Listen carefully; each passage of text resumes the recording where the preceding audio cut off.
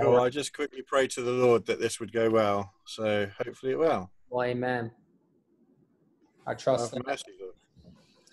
Well, all right. Well, this is uh, this is something I've really wanted to talk about for a long time. I've been ever since I've been handed the keys to the former, you know, this channel going on right here, the former Identity Gospel Ministries channel. Now it is Correcting Identity Teachers University. I've really encountered quite a few people who are in this identity movement, and beyond any shadow of a reasonable doubt, I've seen how brainwashed they are. I've seen the demons that are literally living inside of them, and the demon manifests saying, You're taking them out of context, you're not showing love. And I see the evil spirits behind people who come against the truth of Jesus Christ. And I really just want to flat out state that it is absolutely crazy the way these people have been brainwashed. And that's what we're going to talk about today. So, uh, this is. this is uh you're funny man. You're funny tristan. Well this is uh by the way for people who don't know we're making a reference to uh the video from sokar uh where jay measy was agreeing with pete cabrera. I, i'll cut that part out. Don't worry. I don't feel it. I don't blast him he's being cool. So i'll, I'll leave that out but um but absolutely bro. Well this is this is a good friend of mine. His name's brother tris. His name's tristan.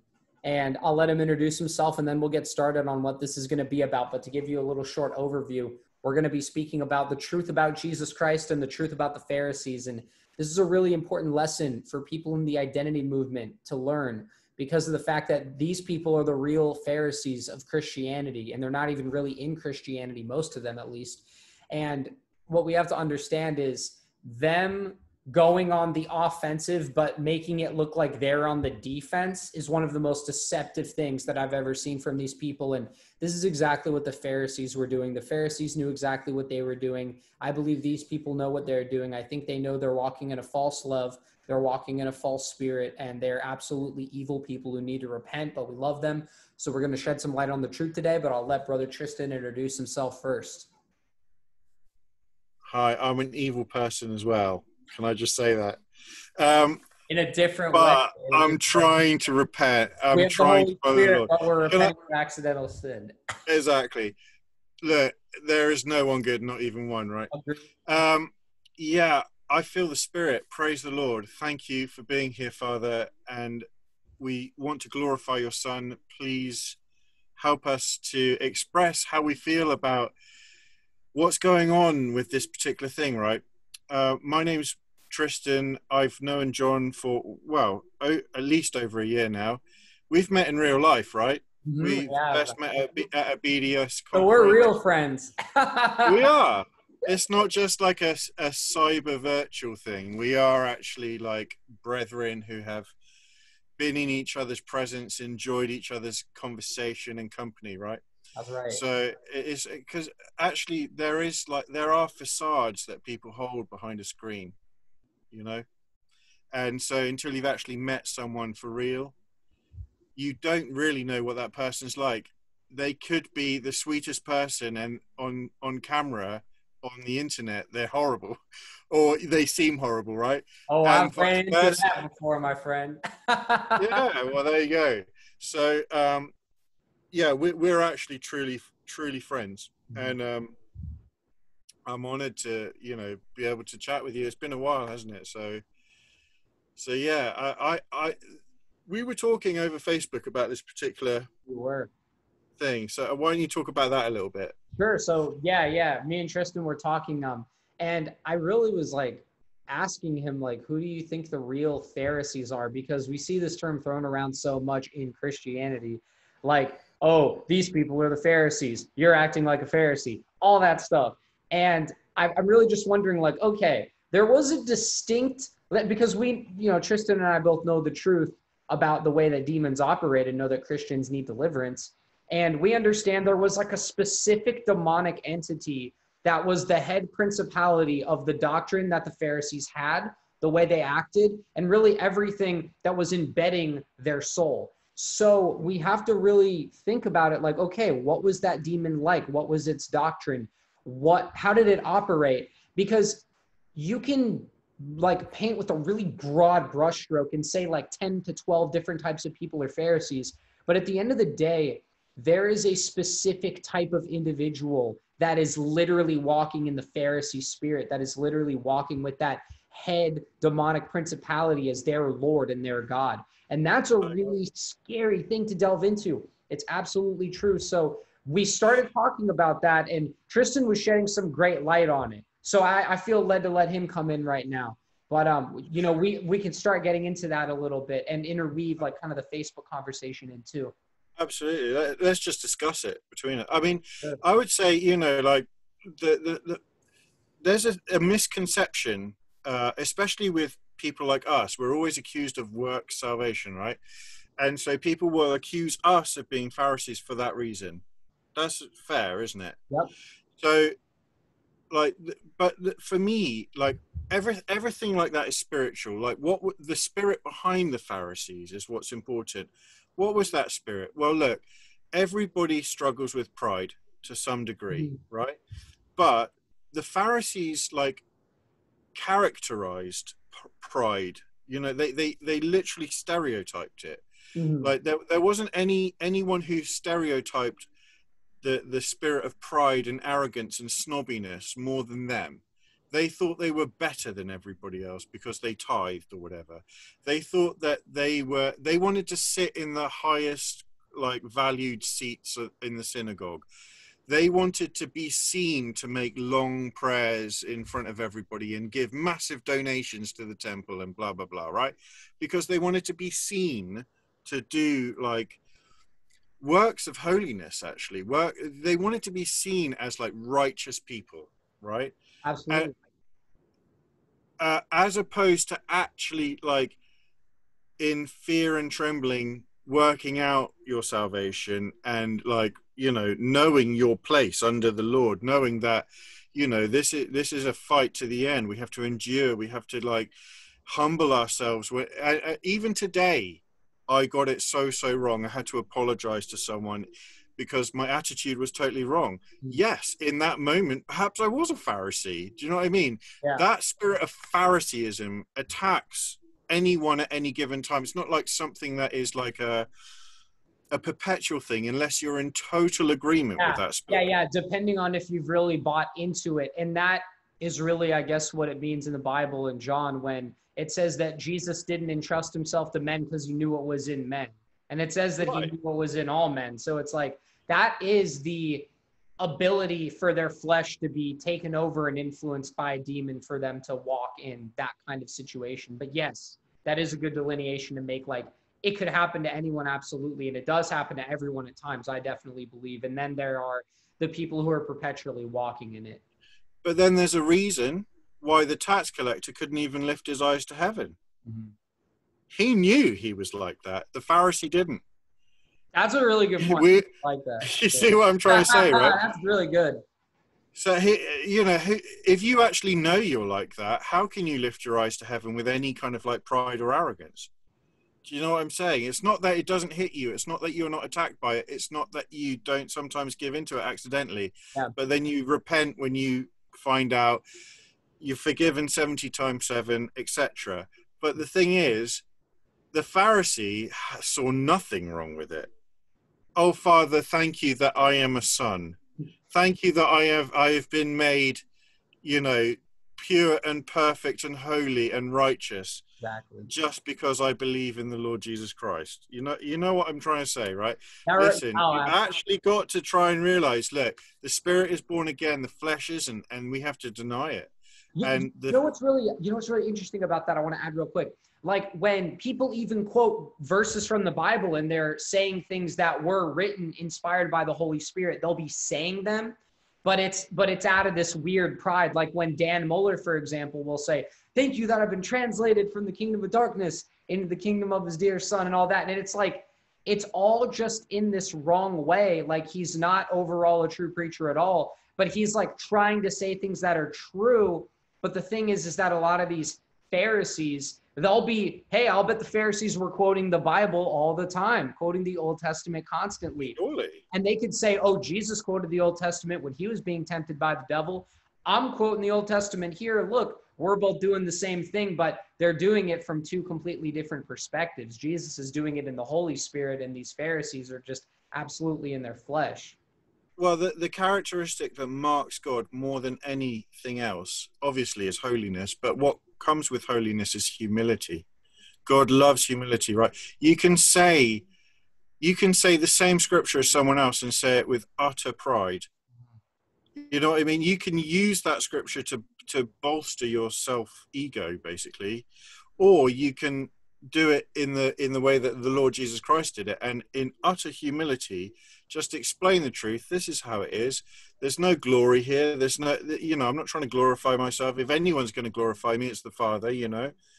But at the end of the day, like when you're using the Bible basically to I don't know, boost your ego or something and, and make yourself appear to be more righteous or more, more holy or whatever than everybody else uh, so that they come to your level or something you just got it backwards like all, for me like the, the most powerful preaching is when the person preaching is totally real with their weaknesses and faults because it's in weakness that god's strength can shine exactly. through and that's where the humility comes in you've got to actually understand no really we really don't deserve eternal life. None of us. None of us deserve it. We all deserve damnation. Exactly. If you if you're looking with eyes, with haughty eyes, saying, "I'm a son," I'm a you know, I'm basically like, I'm there already. There's nothing I've got to do except just believe and blah blah blah. You're just like totally deluded. In my you know what's interesting is, and I want to get back right to what you were saying in just a second. So we're gonna link back to it, Lord willing. But James 3 2, I don't have it in front of me, but like the paraphrase is like, we all stumble in many ways. And then later in James, it says, um, every beast has been tamed, but no man can tame the tongue. It's a restless evil full of deadly poison. When do you see people like Dan Mohler and Todd White getting up and really being like, yeah, guys, you know what? Sometimes my tongue slips and I'm really sorry. And like it happens. And they, they tell about their experiences and they're like, I'm sorry this has happened. I'm working on it. When do you see a real authentic situation coming out of men like that? You really just see them say and they and they'll they'll phrase it like, oh, you know, if we talk about sin, you know, we'll be sin conscious and then we'll just commit it. But it's like if you're ignoring the sin that's in your life and you never talk about it at all, you're covering it up unrighteously and you're not confessing and forsaking it. And that's a big problem that I see too. Yeah. I mean, uh, I, I don't know their work that well because, to be honest with you, to watch them just frustrates me, and it always has done. Mm. Uh, I do try to give it time. Just you know, I, I, like to. I want everybody to be saved. I don't want anybody to go to hell. I know there are other people who disagree, who just say, "Don't worry about it." You know, God's just going to sort it out. Seriously, I I'm I just want to do my best to do do what I can to help everybody find the truth and you know humbly receive salvation um, on God's terms, not on their terms, though, right? But at the same time, we judge a tree by its fruit, right? Absolutely. As what the Lord Jesus Christ said. And so when I see those guys, I do not see the fruit of humility more than anything else. Mm-hmm. And it's not just like a, it happens in the Church of England as well. Oh, wow. You know, people generally just kind of like, as a corporate you know body in the in the church will say have mercy on us we we've sinned father blah blah blah it's like no look you've just got to get specific here. You've got to confess among the brothers if you really have sinned you better tell every you better tell someone you trust. Yeah. And also like confess it so that you can be forgiven and, mm. and, whatever it is you know? If you're really really struggling you need deliverance. You need yeah. you need to go deep in prayer. You might need to fast. Because it's serious. It's really serious. Yeah, yeah isn't it interesting how jesus taught people how to pray? He's like father forgive us our debts as we forgive our debtors he's telling you like they're like how do we pray not like how do we pray one time to get salvation or whatever they're like how do we pray in general right after we're after we're initially saved, when we're walking in repentance. He's like, you want to know how to pray after you're walking in repentance? Forgive me of my sins. And hey, pray this way every single day. That's the thing. Right. There's bad thoughts running through your mind and stuff you got to take captive. Every single day of your life. And there are those Yeah. times where the demons will come in and do that. And people who are ignorant to that, they try to ignore it. And this is why we see the identity movement saying, don't be sin conscious. They're saying, ignore the battle. They're not saying fight the battle. They're saying ignore it. That's no good. Well, well, look, the, the, the next line after that is lead us not into temptation. Mhm. So the Lord, where, the Lord is examining us at any given moment, all hmm. of us. Why? Because we are not made perfect yet, and also we have to endure to the end to be saved. Right? Lead us not into temptation means He will hand you over to Satan until you learn, Yeah. until you learn why you're in agreement with Him and what's attacking you, so that then you can overcome it and then get deeper into holiness with Him. Exactly. that's the process of sanctification right? You are not already made holy. You are being made holy right? It's a, it's a con- continuous present tense right? You are continually walking until you die this road of sanctification right?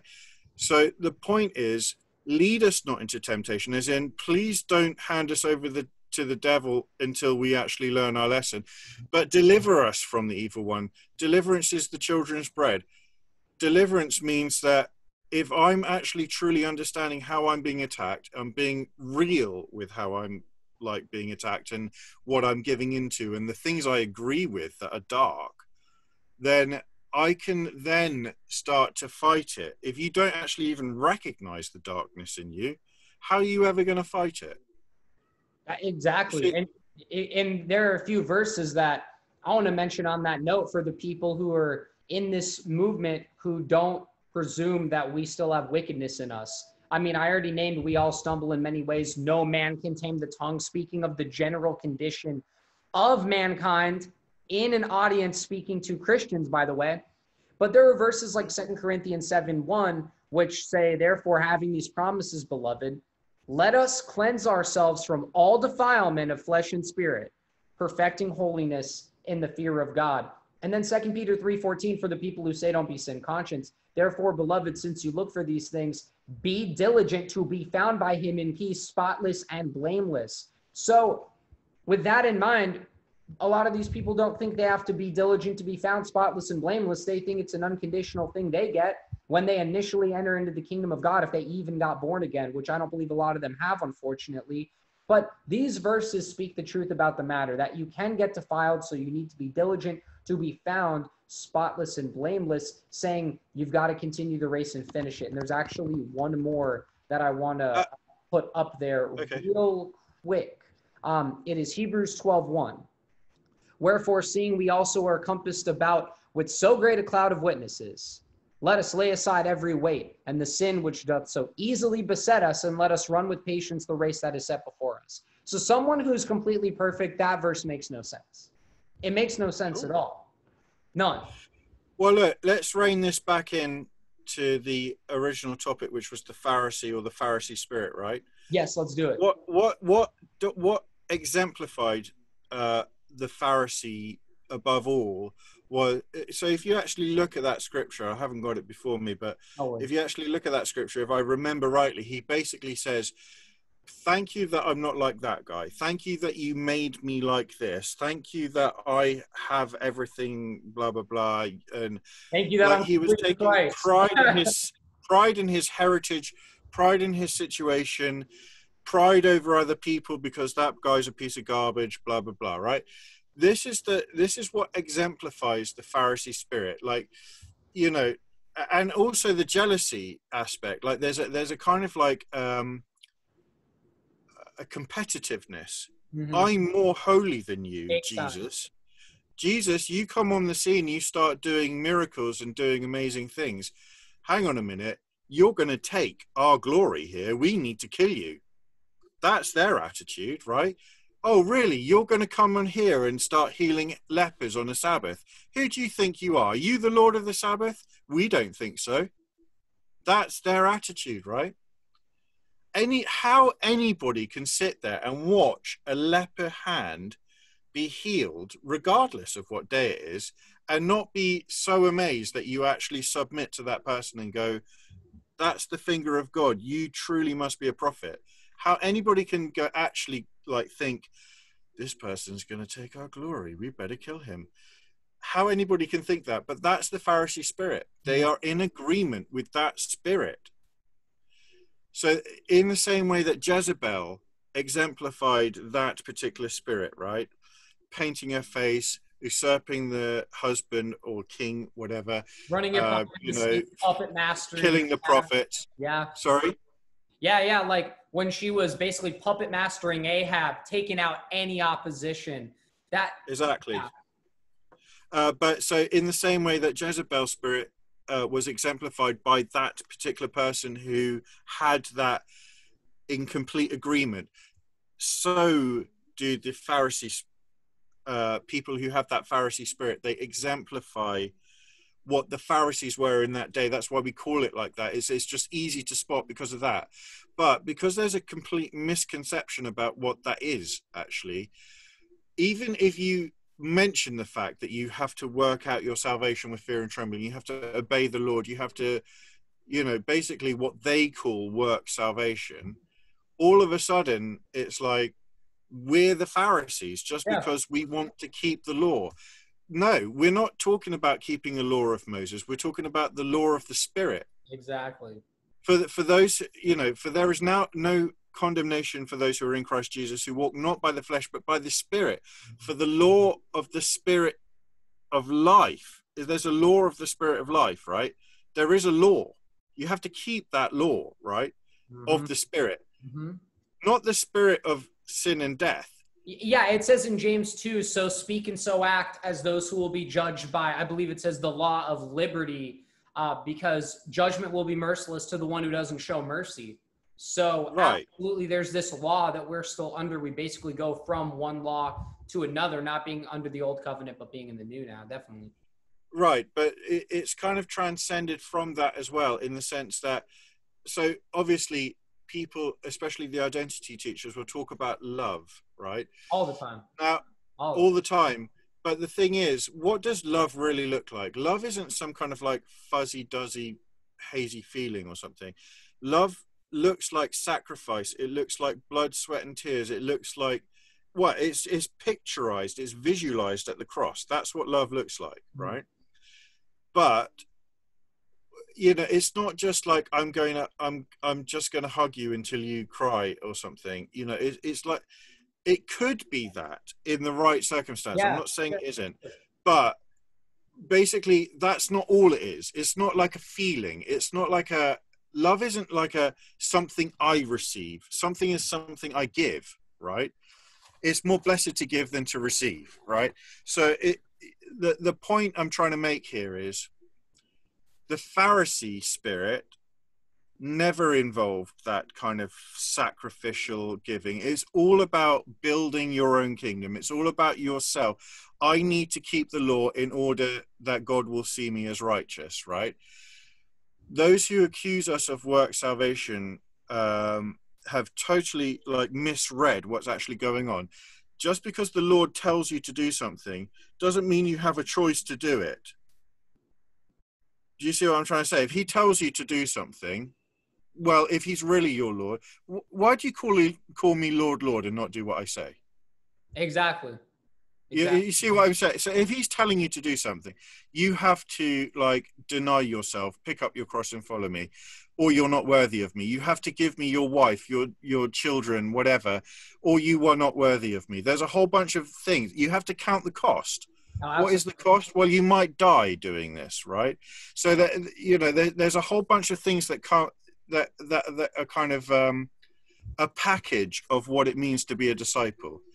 But the Pharisee spirit, as far as I can tell it, as it's evolved to the modern day, is um, the Pharisees basically. Um,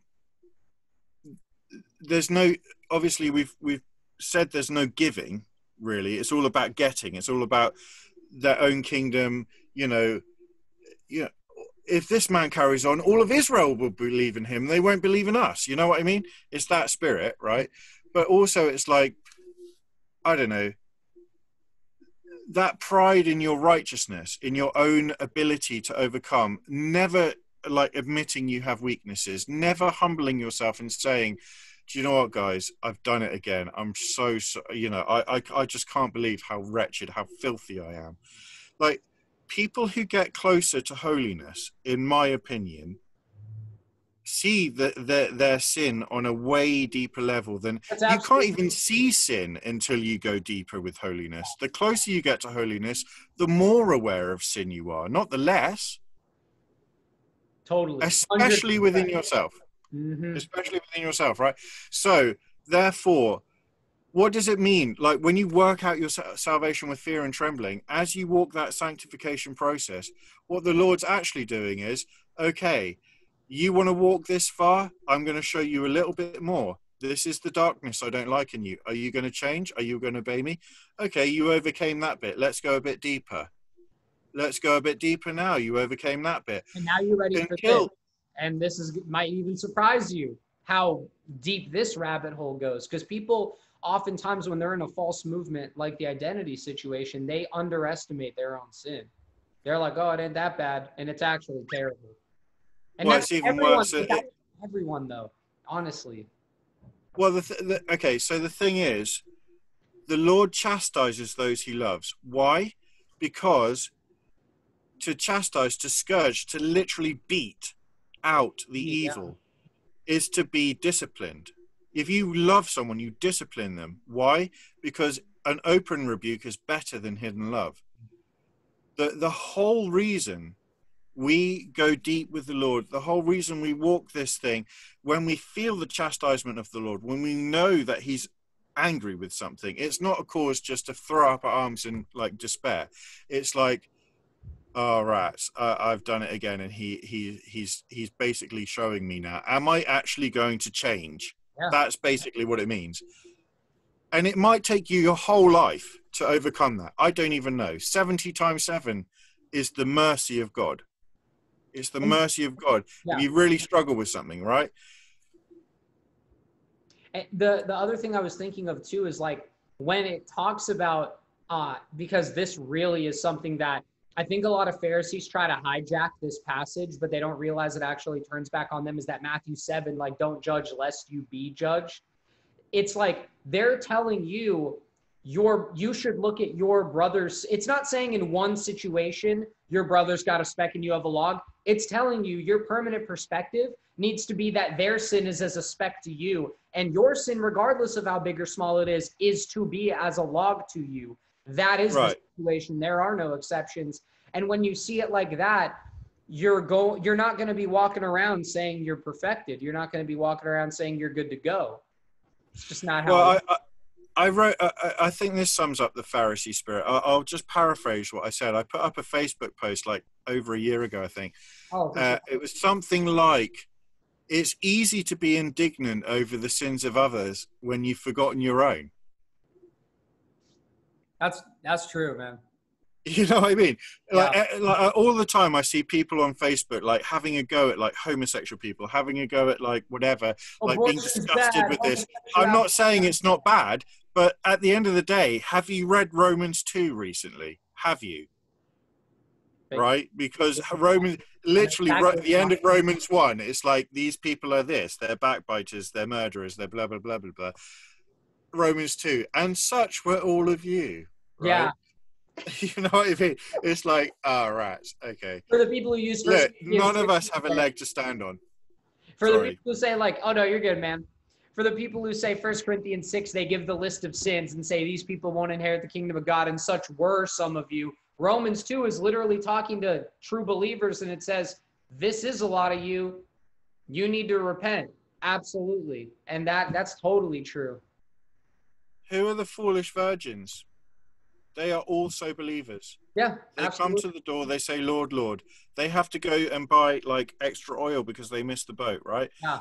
The point is, like both the wise versions and the foolish versions are believers. It's not. It's not like a, a case of these are the unbelievers and this is the believers. No, and they all had to buy more oil, basically, and that shows that you're not literally perfected yet. So the situation is the ones who are willing to buy more oil stay safe, and the ones who don't go to hell. So I want to ask you, what is buying more oil at the end of the day, and does the identity movement lack it?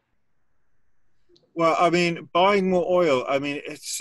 I mean, there's lots of different interpretations. I think my personal interpretation, although I've heard several that I agree with. There are probably a few that are pretty decent, honestly. Yeah. They're all kind Well, of. I, I, I, the way I read it is spirit. Go and buy more oil. Like, you, where, where's the spirit? You know, like there's there's a, a verse in Ecclesiastes that I quite like, uh, which could be mis- totally misinterpreted, but I know what it means. It basically, like to paraphrase it, it basically says, "Don't be too good and don't be too evil." yeah, Right. I know what you're talking Right. about. So there, there's this. If you are too good, that emphasis you you have pride in your goodness, right? You you you're so good that you will never do anything wrong. There's literally nothing you can do that's wrong. Every word out of your mouth is perfect, right? Uh, But then don't be too evil because at the end of the day, that's obvious, right? Local sinners won't So there- there's this like, but I I think it what it really is referring to is like an attitude. Don't be too good, as in, you know, like at the end of the day, I don't know. I, I think I said like possibly a vague swear word earlier, and I kind of thought to myself, it's not it's not a swear word, but it perfectly exa- it, it, it summed up what It I wanted to well say to my brother. Right? It might well be. It might well be. It might well be. But at the end of the day, Exactly. there is grace. If the Lord wants me to apologize for it, I will do it right now if He asks me to, right? But the thing is, like, it was appropriate for that particular moment, right? And like, another Christian might look at me and go, "Who is this heretic? Who is this? Who is who is this foul-spoken like man or whatever?" Look, at the end of the day, you got to just kind of understand we are all under attack at all times. If you are really a Christian, a born again Christian, the demons never rest, yeah. not inside you, not outside of you. They know their time is short. The devil's come down, he's raging. They never rest day or night to try and trip you up to sin, right? Now, the thing is, I think one of the uh, most amazing things about God's love is that He is so incredibly merciful that when we do slip up, like I did earlier, and maybe it was a swear, I don't even know, but it's the first time I've said it probably in 10 years. Wow. So probably it is, right? But the thing is, like, His mercy is so great. If I ask Him, He will forgive me. If I really feel it's a sin, or, or He shows me it's a sin, surely there's an element of darkness. We are all corrupt, right? Mhm. But to rein it back into the Pharisee thing, like they're untouchable. There's nothing they can say, nothing they can do that's wrong. The sinless perfectionist, I never sin. It's that attitude that is just literally like, no, look, you can be blameless. You can be blameless in the sense that the Lord is continually watching over you, smiling over you. Blameless means you you're not willfully doing wrong. When it says like someone like a bishop's to be blameless or they were walking in all the statutes and commandments of the Lord, like John the Baptist's parents, that means they weren't willfully committing sin. Like their will was to righteousness. And that is Yeah. possible. And that's what we have to walk in for sure. But that's a, Well, the thing is, if you have if you if you have a relationship with the Father, you know His chastisement. Absolutely. As soon as you as soon as you say something or do something that's wrong, He will chastise you if you've asked Him to, right? And if you're sensitive to His Spirit, and then you repent. That's what it You is. that's when you repent. It's not something that you repentance isn't something that you twist God's arm with in order for you to kind of like repentance really is like a response to His chastising. Yeah, it really That's is. what it is, right? It is. He he he says no i don't like that. That offends me. That's dark. That's wickedness. You're agreeing with demons.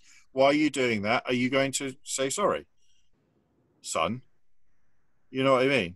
Exactly. that's what it means to be a son of god right? I, I really want to get into this whole perspective of the way that a lot of the people that are walking in a Pharisee spirit they see uh, conviction.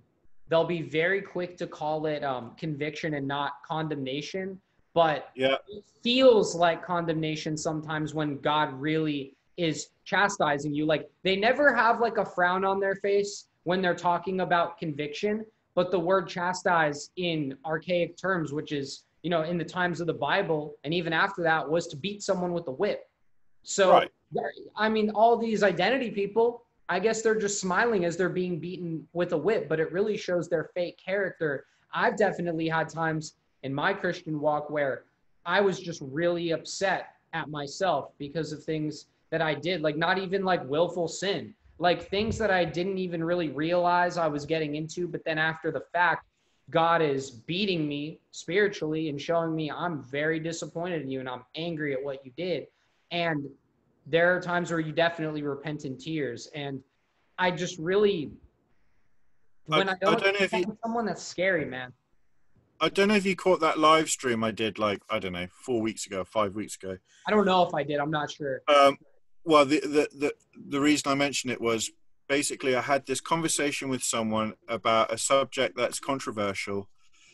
He like it escalated. We exchanged like hot words. He's a brother. I I basically like because I have this spirit of offense that attacks me often and that is my main stronghold, by the way. I'll admit it on camera right now. I get way too offended way too quick, right? And and it, it, it what it turns into is mo- moody, gloomy, attacking. I'm going to like cut you with my tongue, kind of mm-hmm. attack back, right? It's just something I'm trying to deal with. The Lord knows. But anyway, this went too far. The chastisement I felt from the Lord was so heavy I mean, if I didn't know better, you could definitely take that as like wrath of the damned. Oh, that's how that's how that's how heavy it is on me, For right? People who have, and I I love what you just said, and I really want to um I really want to talk about it for just a second.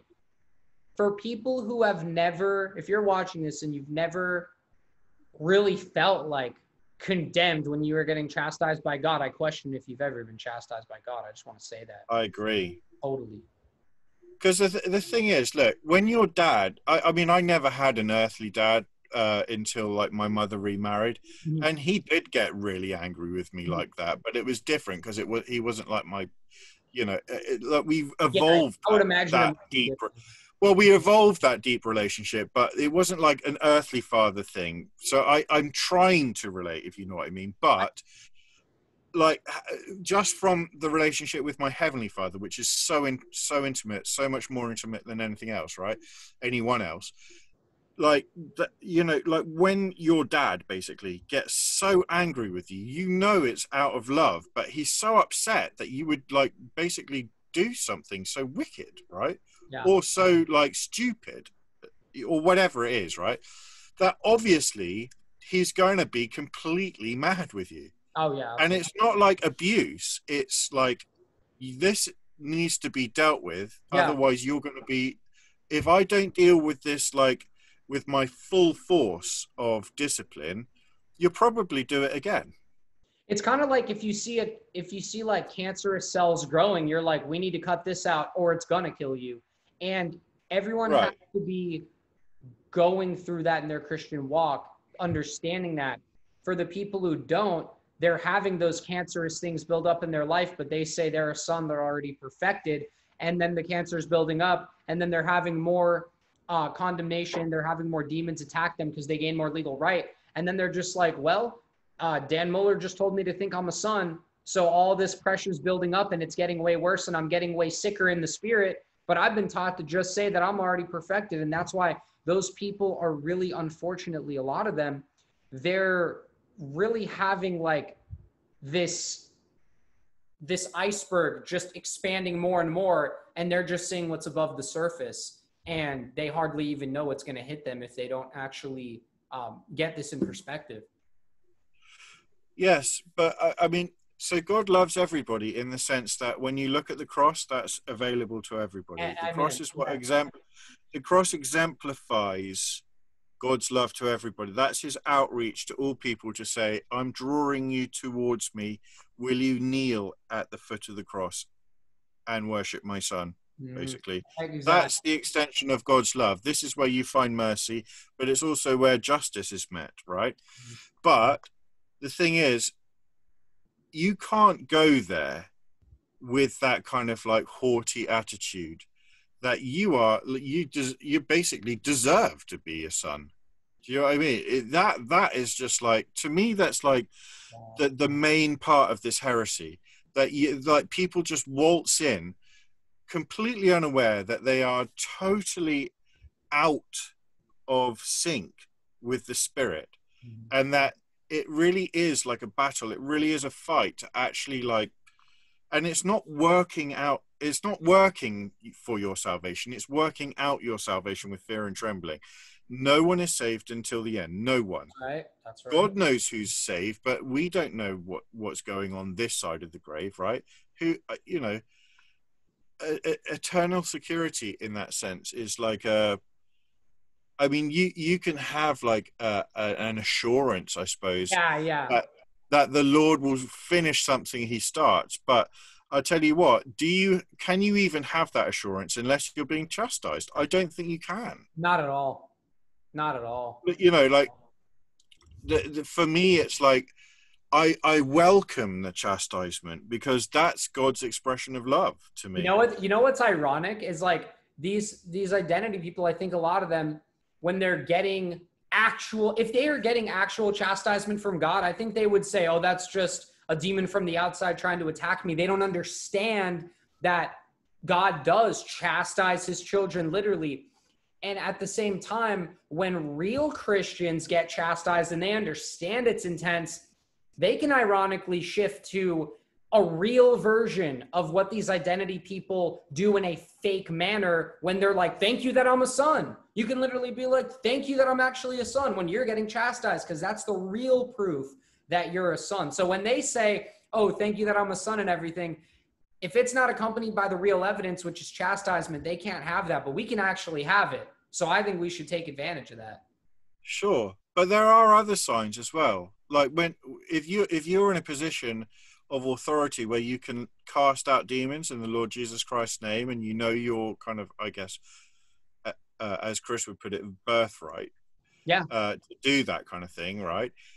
Like Jesus didn't say, "Don't rejoice that the demons come out of people. Rejoice that your name's written in heaven."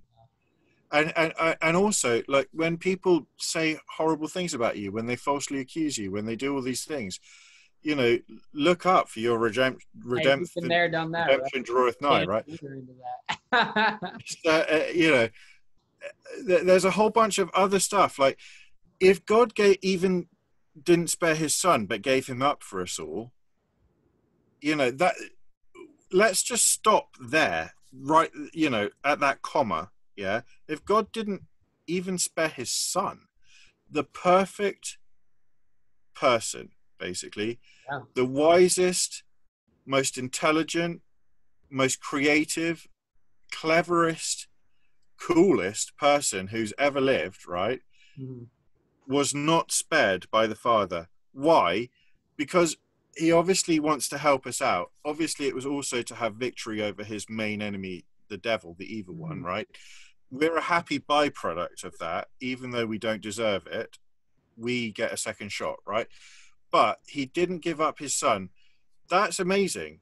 He chastised his son in that sense. Who didn't deserve any? He wasn't a criminal. He wasn't. He didn't do Yeah, his anything son wrong. became an offering for sin. That's super intense. When you really think about it, it's like, wow, he didn't deserve that at Right. all. He's the like basically the only Right. one who walked. You know, and even in the Garden of. Gethsemane, that right, even in the Garden of Gethsemane, Jesus is like, even though I've been talking about this, you know, I told everybody I'm going to be crucified, but if there's any way other way to do it, let's just do that way. Yeah. And and I that mean, that's hard, it- that was definitely in a sense where it's like, you know, he's completely just sold out to his father. Like, you know what? Any way you want to do it. But he's just he showed that it's okay to be honest about how you're feeling while still being submitted to the Most High God, and just be like, look, And not being unrighteous in it. exactly. I mean, he wasn't unrighteous when he said, it wasn't like doubt. He was just saying, is there any other way to do this really? Because this is like, this is brutal. This is hard, you know? You've got to, I mean, there is no one more obedient. There is no one like a, a cooler than a cucumber in the face of death than Yeah. Jesus Christ. There is no one, right? And still sweating blood uh, you know, because of the, the what he knew he had to go through. Yeah. You know, the the plea to the Father. You know, is there any other way? And the Father did it that way through him, even though you know the the the perfect perfect spotless Lamb.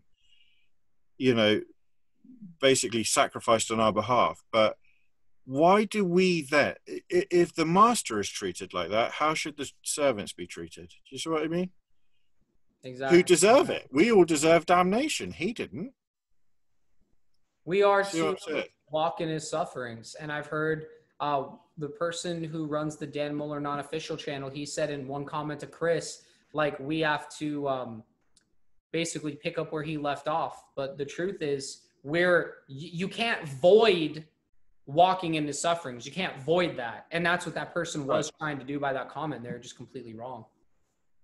no there, i think there's a verse that actually says the fellowship of his sufferings Yeah. Yeah.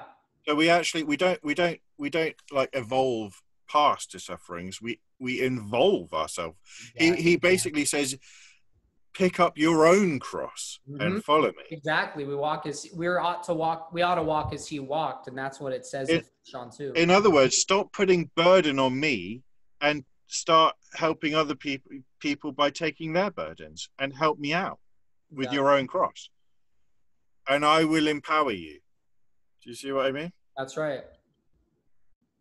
It's very serious but the, the other thing is that pharisee spirit like it's so ironic that these people accuse us of it because it, it's them Yeah. That's the log in the eye. It's total hypocrisy.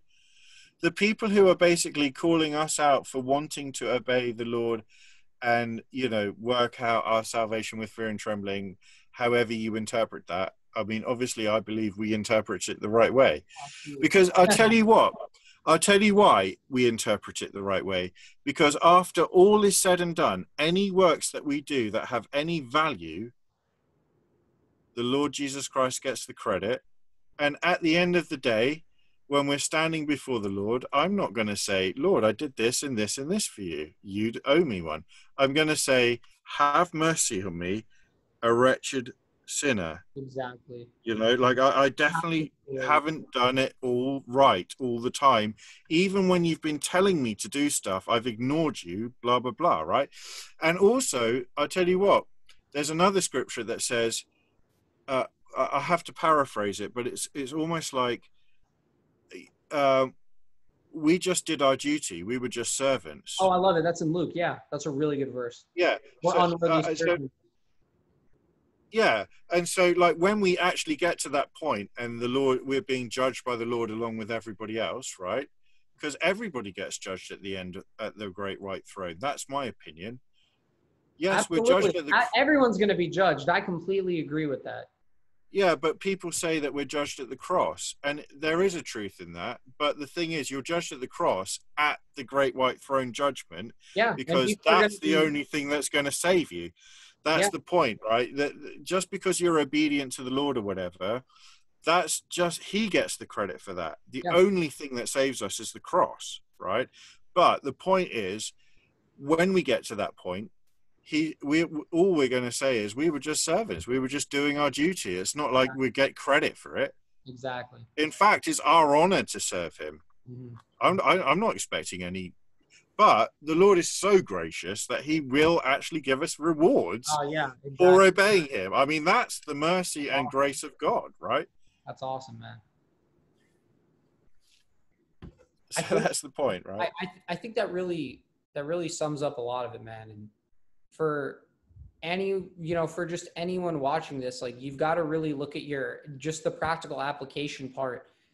You've really got to look at your everyday life and be like, am I taking my sin as seriously as God is taking my sin? Do I have His His lens? Because some people say He only sees Christ in us, but in terms of justification, if you're walking in repentance, yeah, we're in justification and our faith is imputed as righteousness, but are we seeing our sin the way God sees? He's still looking at your sin. So are you seeing it the way God sees it? Are you reading Revelation 2 and 3 and seeing how Jesus Christ, his son, speaks to the churches?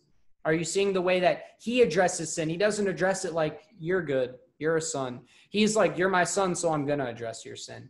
So, guys, the, the main thing I want to put here is are you seeing it that way? Is that your lens? And are you address step two? Are you addressing it appropriately? Are you repenting with a repentant heart, with a broken and contrite heart? Because God won't despise that, yet He will despise anything contrary to that. Exactly. But I would say I know I kind of know what they're going to say now. They're going to say, "Well, we we are uh, we are made righteous by faith." Mm-hmm. Which is true. So that was that that would be the, that is true. Yeah. Um, so that that that would be the first point. Yeah. And the second point is um, what was it now? I've forgotten. But anyway, let's just go with that first one. Yeah. So oh, so basically, um, the Lord tells us at any given point examine yourself like on a daily basis examine yourself to see whether you're in the faith take that was the point. fall is also in because that one's in second corinthians and then in first corinthians 10 he says take heed lest you fall in first corinthians right 12, yeah and pride comes before a fall as well so the, so the other the other thing is if you were if you really are deluded and you're in pride and you think you're you're better than you really actually are and more important than you actually are, you are going to fall. Mm-hmm. Like it, it, like there's a I, I don't know where it is. Maybe Jesus says it. He, there's like a parable that basically says, look, the people who are like coveting like the best places at the banquet. Oh yeah, those people might those people might be moved to a more humble position. You're going to yeah. be embarrassed, right? The but the people who are just going for the lowest bit, friend, move up. exactly. Look, have this place of honor. Don't sit here I want you to sit at the head. Exactly. And then you're honored, right? Exactly. There's another there's another verse. I love that parable, says, man. Guys, honestly, apply that to your life. Always take the most humility possible because you got nowhere to go but up. Well, I tell I tell you what, I tell you what, actually, there was a pagan guy I knew in New Zealand. Uh, he was a he was an American, and he was a a very interesting person in many ways and uh, completely demonized. Like uh, yeah. even then, I knew he was completely like gone. But mm. he said something uh, that has always stuck with me, and it is de- it was definitely like whether he took it from the Bible or something. But like his ethos, like we were all planning like some kind of psychedelic trance party, right? Oh, sure. And uh, and what happened was we were all kind of like allotted jobs to do to kind of like set this thing up, right? Okay and and basically like he was seen as kind of like the older wiser kind of like of the group i guess. And so technically speaking he could have taken like whatever the best job was. Do you know what i mean? Mm-hmm. but uh, so we were all discussing what jobs we were going to do and he said whatever the other whatever the job is that no one else wants to do i'll do that one. And i'll tell you what that stuck with me with the that unbelievers, really there's there's a law in their heart that's a law unto themselves, like in Romans two. It's like they know what the truth yeah. is. Conscience excuses them when they do right. So that that really is very impactful. Yeah. And TJ, if by some miracle you're actually watching this, I pray for you. I love you. You are an amazing person in many ways, but you're a complete reprobate and you need to repent. And also, you really inspired me in many ways and i really really hope you find the lord jesus christ because you'll love him trust me. You will love the lord. He is amazing trust me. Amen. I could speak to um, being in a ton of bad stuff before i was saved being kind of like oh. a life of the party type person always oh, being down to do a ton of stuff.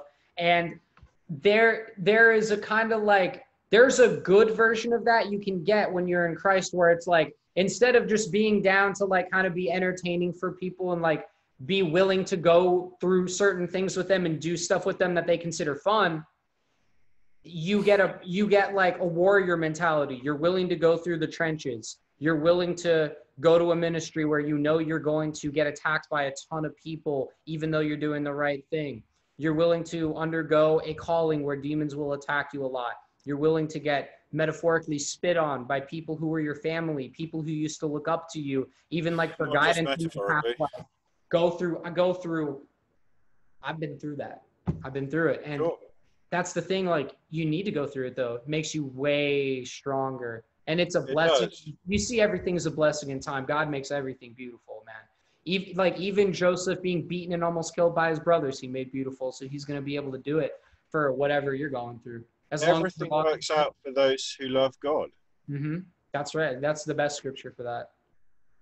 I mean, that, that's the thing. Like, it doesn't matter what you're going through. If you really, really do love God, He'll work it out for your best.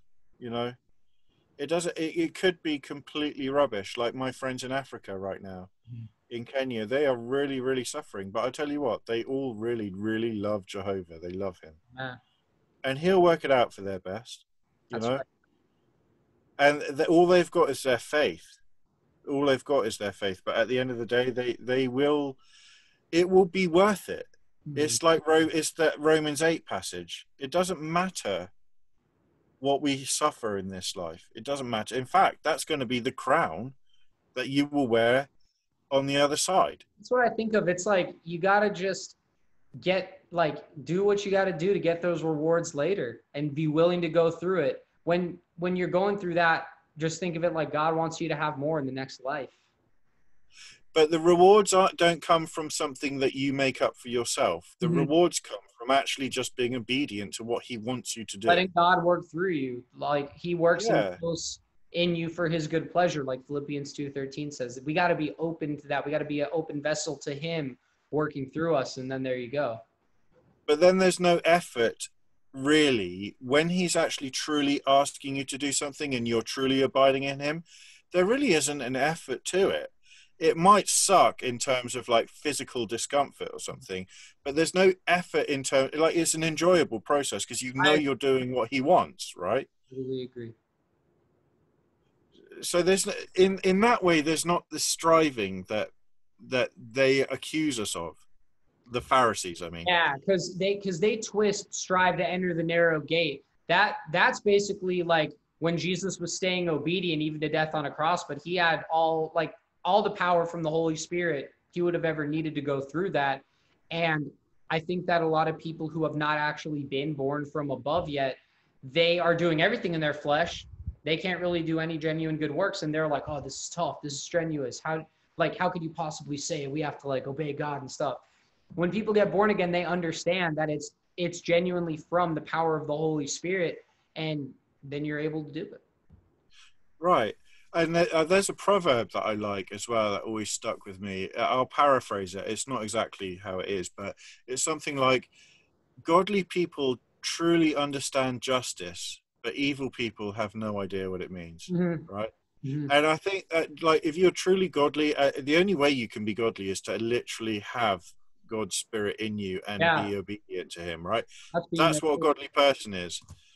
It, it, there's no other way. You have to you have to actually know him and abide in him to be godly because you're not godly in your own right or your own strength right so godly people understand justice why because he reveals it to you he shows you look justice is met at the cross i mean the cross is a brutal execution device like there is no more brutal execution they even invented a word for the pain someone experiences at the cross, excruciating.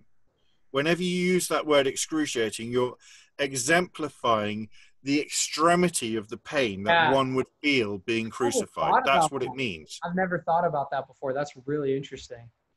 Yeah, cruise. That's where that word comes from, excruciating. Yeah. yeah. So, so that, you know, that, that there was a special word for someone being crucified that we now use in our you know modern vernacular you know yeah. to exp- express like this like horrendous pain that you're feeling right and basically we are asked to take that upon ourselves to pick up our own cross is to take on this excruciating experience of some kind oh. against the the tide of the world and the way they do things and if you're truly, truly being obedient, I, I, you know, there's not a day that goes past, and I don't say this in a suicidal or depressive way. I am, I have all the joy, and I love being here. Can't wait to get out of here. Love you all. Want to go home. Done with it. Every everything's gone. Nothing's fun anymore. it doesn't matter. Like all the things I used to call fun are just not fun Yeah. anymore, right? There's just Dude, no I, I like, know what you mean. I know what you mean. Ugh. and, and not only that, like everybody else who's having fun is like debauchery to me. Exactly. It's like it, I I feel God's like disappointment or or like even wrath against Okay, it sometimes. discussed for sure. definitely discussed and, and and so like everything that most people would call fun going to the movies going to have like a strong drink in a pub and, and have a bunch of like i don't know whatever they do there or like going to a party and getting hammered on drugs or something or what else is fun? I don't even know. R- racing around a, a track in a race car or something the the need for speed that kind of thing. It's just like none of that's fun guys. It's like, almost like, this is a fight for our lives. Mhm. It- it- it's almost like when you really know Christ, you see the end in sight of all those things, and you're like, oh, those things are going to come to an end. Like that's going to be, it's going to be over, and then you're going to be like, well, that's done now. It's you see everything is so temporary, and that's that's the thing, man. Like when you see that, it just humbles you, like the just- fragility of life. Exactly. So the French, the French call um, the orgasm. They call it le petit mort, which means the little death. Right. So That is right at the, really cynical, man. it's very cynical, but that's what the French call the orgasm. That's Wow. literally what they call it, right? But it's very interesting, and uh, there's actually a lot of wisdom in it. Why? Because right at that moment, that pinnacle, that climax, it's the best thing ever. Straight after it, it's gone. That's it. That's the end. Then what what happens is, especially if you've filled with spirit of lust or something, Yeah, yeah. you just have to keep repeating it in order to get your hit, right? It's which it's is why pornography is so addictive, right? interesting. Like, oh, But the but the link I'm trying to the link I'm trying to make here is everything of the flesh is temporary and has an end. That's what I'm trying to say. That that that as wonderful and as as as strong as that feeling is of orgasm, right? It ends. There's an end to it that cannot be like perpetually continued, right? Yet, what Jesus Christ is offering us, and I've had a taste of it, I've got a glimpse of what eternal life is, is if you remain in obedience and abide in Him, He offers you that perpetual experience of heaven, let's call it heaven, right? That that everybody's looking for. He created the orgasm, but he also created the end, right? Whereas he's basically saying to be in my presence is basically to be with the most high he the most high you could ever get is to be with the most high right and so everybody's like temporarily going with the the the temporal fixes whatever that might be Mm. the race card thing the having sex the i don't know uh going to parties all this stuff it all comes to an end you being cool, you know, having Right. your soda, all that. and that but the, the thing is all of us at the end of the day and this is where the kind of cynical depression kind of wisdom comes in of ecclesiastes is at the end of the day you are going to be on your deathbed sick probably know. basically like taking those last breaths thinking was it worth it was it worth it you know what i mean Yeah. You really, because we're all going to be there. The way that we got to think of it is like, I mean, Lord willing, we even get to that age. I'll, I'll clarify that.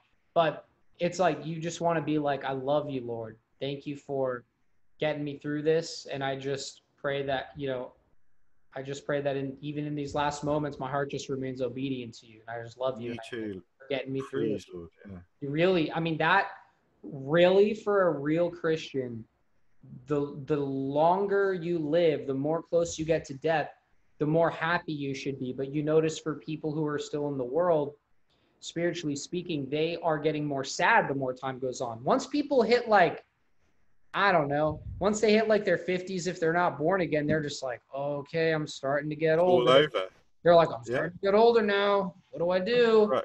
I'm gonna try to be young a little bit, you know, and and that's the the problem is they're looking for it in the wrong places. But if they had God, they would they'd be like, I'm getting closer to being with God forever. I'm getting wrinkly and stuff. That's cool. I'm Yeah. ready for eternity. Okay, like I'm ready for something way better than this. But uh, I mean, so for me, the whole Christian walk is walking towards one moment, I'm listening. taking that last breath. That last breath is the crucial moment. Everything relies on that. Yeah. Are you because basically, look, a lot of those kind of like uh, tr- the truth is of like five years ago or whatever. Uh, they were always talking about Satan and then Lucifer, Lucifer being the false light, blah blah blah. That you know, you know what I mean. I don't know if you watched a lot of that kind of stuff, but basically, a lot of the kind of Illuminati crowd will talk Oh, about Lucifer. watched some of that stuff. Right. So that so the point is like there he is a he, he comes as an angel of light Amen. To deceive who he might devour, right? So the thing is there is a real light and there is a false light. Mhm. And the thing is I've seen um whether you believe them or not, like uh, near death experiences, or even people who have gone to heaven or hell, like whether they have or not, I don't know. But Yeah. what I, the, what their testimonies are fairly similar in the sense that those who kind of went to hell, a lot of the time, like a, a, large proportion of them, were immediately like lulled in with like this whole false idea of what heaven would be.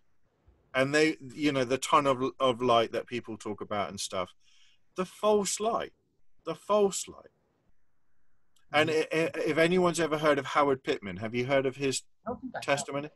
Dude as soon as you get off this call look at the howard pittman testimony. It's amazing but yeah he was just he was almost deceived by that false light it's a really really good testimony trust me All right, man. um, really, really worth watching. But yeah, I mean, the Bible says Satan comes to us as, a, as an angel of light, and that has multiple applications. But it also applies to in this like last breath scenario because if you're not abiding in the Lord, you will go towards that false light and not the real one. it's interesting, man, because I did a video on Facebook a little while back, and I was basically saying like the really scary thing about deception is that if in your heart you want to be deceived, you'll get deceived. Like if you are willing to step into it, it will really have a legal right to, to hard step into your life and and take you over. And that's the Well, thing. I mean, the Lord literally says He hands people over to the delusion, Exactly. the strong delusion. Exactly. Well, people want that delusion. I've literally heard Lady Gaga, obviously a complete Satanist, whatever, but Yeah, she's literally, Totally not she literally said, I would rather have a large dose of BS than the truth. So obviously she understands what the truth is, but she would rather have the BS, She right? probably knows But the that's just- and everything, bro. Right. But that's just the extremity of what most people probably believe. Like she, at least she's got the gall, gall to say it. You know what I mean? And this is what I say often on Facebook. Like, listen, if you really do want to follow the devil, just be honest. Mhm. Make the most of it. Please. You know what I mean? Why? Why do you give Jesus lip service and not follow him? I don't get it. It's- I don't understand. What are you hoping to achieve here? He's going to spit the lukewarm out of his mouth. What does it mean to be lukewarm? Not hot, not cold. You're just doing both. Well, Pharisees. You know what's so interesting? Like I remember even before I was born again, there was this one uh, woman who I was friends with, and she would make some of the most like emphatic posts about Jesus on her on her Facebook. And I'm not saying she's like the worst sinner ever or something, but like you know, obviously like we were all like in willful sin and stuff. And she was from like another you know university, but you know we were both doing stuff that weren't that wasn't right. And Right. and like I, but i would see these posts and they just if if you didn't really like have discernment you'd be like oh this is a person who really loves the lord. But it's scary. Like the the thing about being lukewarm is like it's not just always being like oh whatever maybe i'll you know sin now and oh maybe i'll follow god. It's like an intense of both. Like they say you're not hot or cold. It's almost like you're a false version of being both hot and cold. And now you're just walking in like you'll go intense into sin, but then you'll be in a situation where you feel like you got to praise God so much more just to kind of make up for what was going on and and I don't know if that was exactly the case with her but it's scary man when you see people really they feel like they I mean I just really don't even know if a lot of these people know what they're doing. Do you, do you know the word hypocrite? Uh, do you know where it comes from? I I know that that word at its root in Greek is like a play actor or a pretender rather right, than someone the, who just says one thing and does another. It's like a it's like the, act you take So so the way we use it now comes directly from Jesus Christ. He was the first person to coin actor, which is what hypocrite means, yeah. as the two-faced Pharisee that says one thing and does another. Mm. He was the first person to use it in that context. That's why it means what it does now. so Jesus invented that. Jesus, I mean, he is the word, but he invented that meaning of hypocrite, right? Yeah. So when he says hypocrites, vipers, he's actually saying actors. You're acting. Yeah. You Absolutely. are not. Absolutely. Uh, but that so that reins it back into the Pharisee spirit as well. They're actors. There's no genuinity. Like they don't understand that God knows everything about them, everything. The the hidden things they're doing in the darkness that will all come to light, that will be shouted from the rooftops. Things they're looking. They just really don't think that's going to happen, huh? Oh yeah, yeah. Just to quickly interject, like the things they're looking forward to that are wrong, that they're premeditatively planning. He's like, I see it. I see what's going on there. Yeah. Well, they think they're probably going to get congratulated for a lot of it, whereas what uh, what's actually going to happen is their words will damn them. Yeah. Because the Lord says that as well. Your words will damn you. And you know what's interesting about that because that links into the end of John 12 where Jesus says, "My word will judge you in the last day." But he also, of course, says, "By your words you'll be justified or condemned." I think in Matthew. I know it's in the Gospels though. Um, a lot of people they preach like this false love and they say they're very gracious. They say they show a lot of love. But the people a lot of the people who do that they condemn a lot of the time. So when other people don't show love in their opinion they don't show love. So all those people are going to be condemned if they don't repent because they're not like let me give you an example. Like let's say someone they like like dan Mohler gets attacked and then they say you're not showing the love. You need to repent. You're you're doing this. You're doing that they're now going to be condemned for their words because they're not showing grace and love to me. They'll show a false version of it sometimes, but you know ultimately it's not coming from a real place. And every time that they're, you know, saying, "Oh, I'm, you know, I'm going to show grace and love," and they don't do it, that's them being condemned by their own words, unfortunately for them. So there's there's two things I want to say to that, if I can if I can remember them both. The first thing is that so going to easy believism for just for a second, right? What I don't understand about it, so like obviously the identity teachers will teach that you only have to believe in Jesus, believe you're a son and you're saved, right? That's the essence, is it not? Is that fair?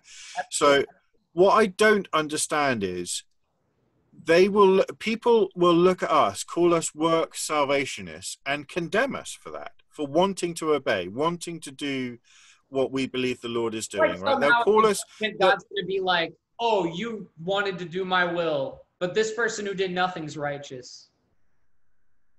Yeah, but it, it, it's more than that. It's like, well, look, we also believe in Jesus. Just because we want to obey him, why does that nullify our belief in Jesus? Why why can you work works of unrighteousness and believe in Jesus, and we work what we believe he's actually asking us to do obey him and for you know get rid of sin and whatever and and believe in jesus. Why are we both why then are you saved just because it's only faith alone and that's it and we are not? People who know that revelation are oftentimes a lot older. Um they're often past like even like like I don't see anyone like really even in like their 20s and 30s who understand that most of the time. It's usually people who are older Christians who realize that that type of thing. It, it really is. And I didn't even really think of it that way until right now.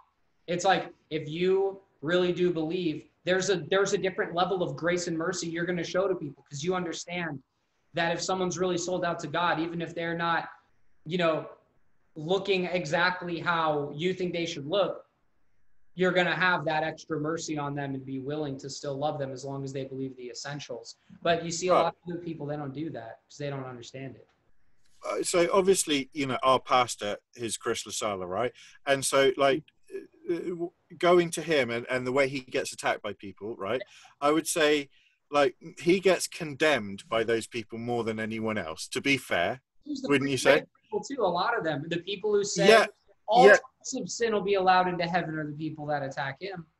right? But it's uh, what I find so ironic is they will defend some like Satanist who just believes in in faith alone and that's it. They've just come to the Lord or whatever. They're okay.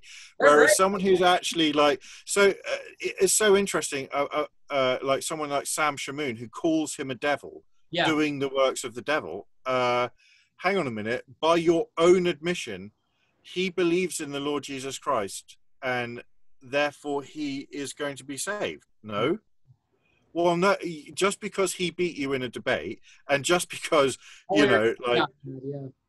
he absolutely destroyed him in that Yeah. debate. But also, but also, like you know, he he was he's so full of pride that you know, just because he can't like articulate the Trinity to persuade us that that's the reality, now we are children of the devil. It's like um, I just don't. I, it, it's inconsistent. It's inconsistent. All of us, regardless of anything else, you, me, Chris, everybody else at BDS, truly, truly, truly believe that Jesus is the Son of God and the only way to the Father, and that we have no hope in our own works. Mhm. Right? Amen. That's true, is it not? Absolutely, it is. We believe he's the divine, only begotten Son of God, right? Pre existent. That's right. Now what? Gotta believe Now in what? existence. Now what? Now what, though? Now, so wh- why are we now condemned as heretics? I don't understand. I don't, what, what do you mean we're work salvationists? Why does that nullify us from salvation then? According to your own doctrine. That point. You see what I'm trying? It's so hypocritical, right? I like that point. Well, there it is, man. I think I think we've really gotten through a ton here, and I pray that it's edifying to the body of Christ and for people who see it, who I just that. haven't figured it out yet. Um, I really do hope that it affects you positively and that you really let it resonate in you and that it produces some good fruit. Um, it, yeah, I knew that this was going to be good and it was. So I praise God for it. Cool. And Chris, thank you so much for being here, bro. Thank you. And can I just say that we haven't got it all sussed. We both, are we not, trying to still work this out with fear and trembling, right? That's the point. Like, uh, we, this once saved, always saved attitude. Like, we're not sat here, like, basically lecturing everybody to tell, to, to, to basically, like, twist their arm to understand like we do. This is how we understand. We know it's the truth we know that identity teachers like Mohler and White and, and Cabrera are teaching things that are going to land you in hot water. That's why we're coming against it. This is stupid. It, it's not in the Bible. It's just not Not. there. You can't find it. You can twist scriptures to find it, but at the end of the day, we have to endure to the end to be saved. We have to like receive chastisement if we want to be considered sons. I don't see any of those people who call themselves sons who are standing on a podium being chastised. Or if they are being chastised, they don't admit it. Yeah, and then they're not. I, then they're I'll not tell you what, I, I've been watching Todd White recently, just like watching how he is. And I'll tell you what, that man is not happy. He is not living the life that he Easy thinks he's projecting. not doing well. It's easy to see Todd White has this kind of fake, um, you know, situation going on with with his demeanor, especially. He's living a double life. yeah, He's not happy. He's not. And it's not to do with persecution from people like us. It's not that. It's a spiritual disconnection, in my opinion. He is now walking in the flesh. He's rejected the chastisement of God, and he's also rejecting the rebukes of the church, like his brothers, Yeah. if we can call him a brother, right? Like so many people have tried to reach out to him. So many people, you know, and he's just he's a superstar now.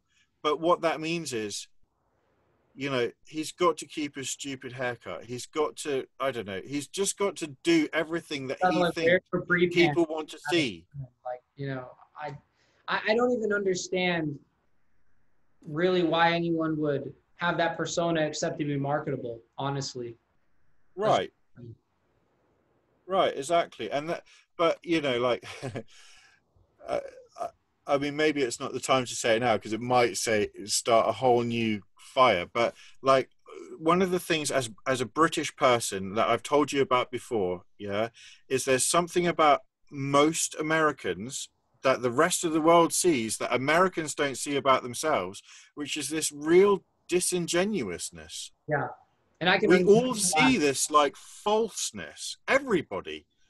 Every you ask any European, you ask anyone from Australia, you ask anyone from India, you ask anyone from Africa. And uh, well, maybe not Africa actually. I'll tell you why. Is because Africans are really susceptible to that prosperity gospel. And obviously the identity gospel yeah. is the 2.0 prosperity gospel right? But i tell you what like most of the world sees this fakeness that goes on in the united states you know? Uh, i don't know what it is. It must be a principality behind it i think. It has to be. I totally agree with that but you know when when americans are being real they are the best people in the world but so often like people get burned like who are foreigners, like whether it's traveling abroad or like just they come to our country or we go to your country, it, there's always that like doubt whether that person really is being disingenuous or not. But it's it seems to be like um heightened like the, the whole thing is like like comes to a climax with these american preachers is there anyone more disingenuous than Kenneth Copeland, than I don't know Steven Anderson, then I don't know, like you you name it. People like name an American preacher. I'll, I'll say they're disingenuous. John MacArthur. Yeah, I think he's a disingenuous dude. I literally get the creeps listening to him.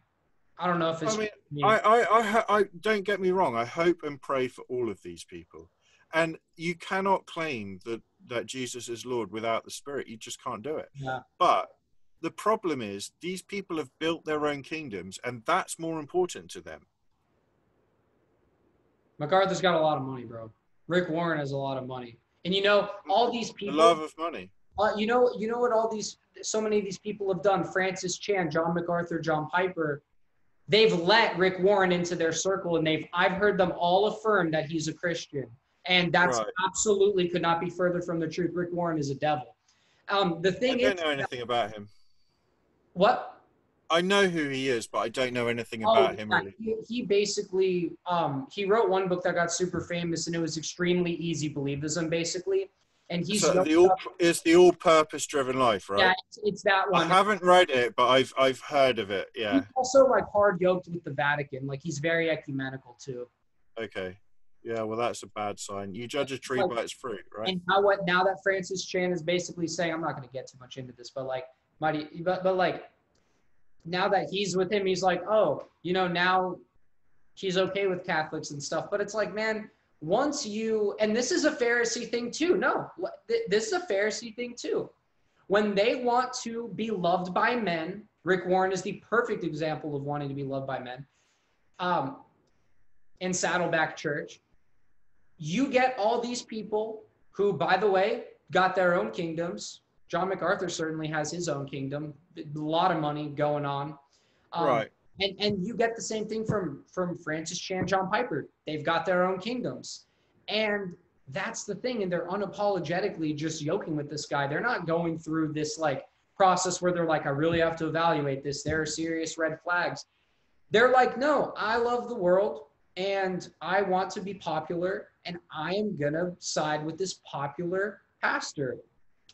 And that's the thing. If you want to be given over to being a friend of the world, the world will gladly take you. But this is another, I say, uh, maybe this is where the Lord brought it to the pinnacle of the conversation. That you say it's over, and the Lord says 20 more minutes. well, I mean, I th- it might not be because this might be the, the, the, the drop the mic moment. That is the uh, the the height of Phariseeism. Is to build your own kingdom, claim that you are righteous and no one else is. You have to follow it my way or it's the highway. And like anyone outside of us is not part of us and everybody else is a heretic. You have to be a And- reformed theologian that believes that man is completely incapable of responding to god. And it's like dude, john calvin believed in the perpetual virginity of mary and he held some things about baptism that all you guys would throw him out of the church for yet you call yourselves calvinists shame on you that's what that's absolutely hypocritical right i mean you, but They the thing these is guys believe, Tristan. They don't know what these guys believe. They don't know what Calvin and Luther believe. They'd call them damnable heretics if they did. well i'll tell you what i mean i don't know anything about those guys too much except that um there was a whole bunch of uh darkness going on in those times that i think we've had uh just on a, on a global scale enlightened to us now Yeah. like surely as the the end times have come knowledge has increased everybody's rushing about to and fro like it says in daniel right but the thing is like the lord has also done a whole bunch of new stuff with the church and fresh revelation Mhm. and the freshest revelation for the church i think is the revelations we have about demons and the way they attack us that's the them. best I, I really, that, and they and those guys didn't know it.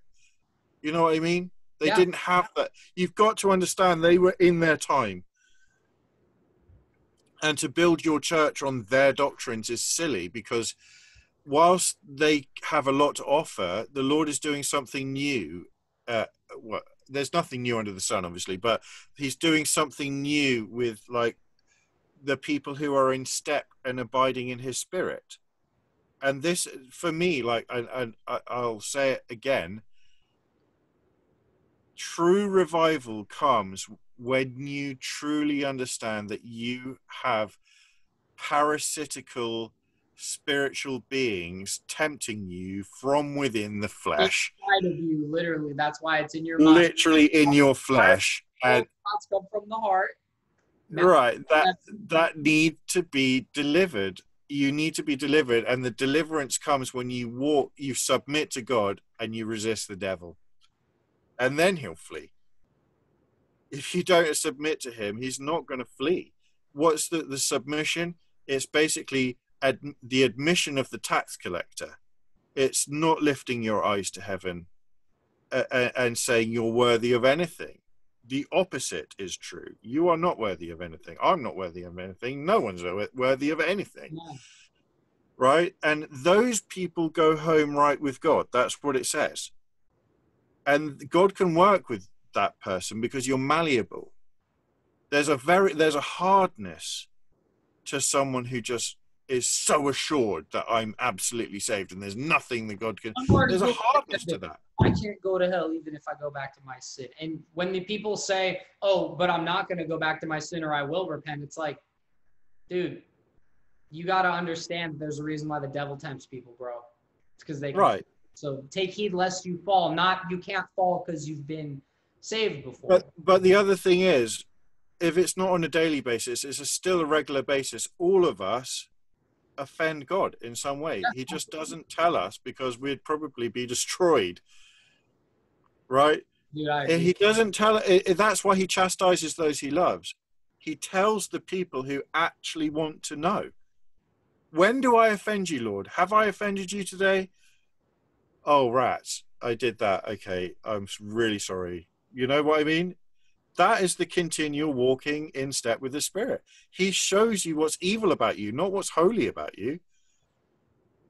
None of us have holiness in us except what He puts in us, right? Right. he shows us what's what's evil about us not the opposite